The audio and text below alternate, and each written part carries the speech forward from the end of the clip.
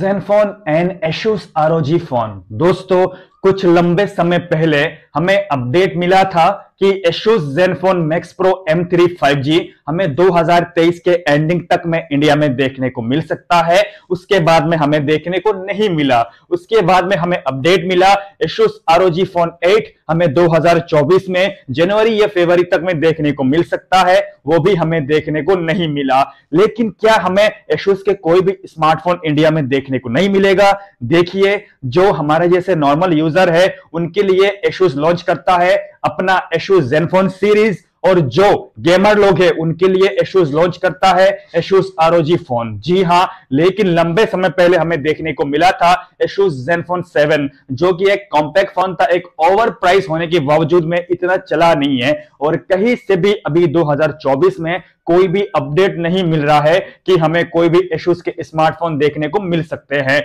लेकिन जो are phone 8 है, वो लगभग आपको देखने को मिल भी सकता है। लेकिन जो Zenfone Max Pro M three है, वो कहीं से अपडेट नहीं मिल रहा है कि हमें 2024 में देखने को मिलेगा। तो आप में से किस किसने एशूज का कौन सा स्मार्टफ़ोन को यूज़ किया है, वो नीचे कमेंट करके ज़रूर बताइएगा।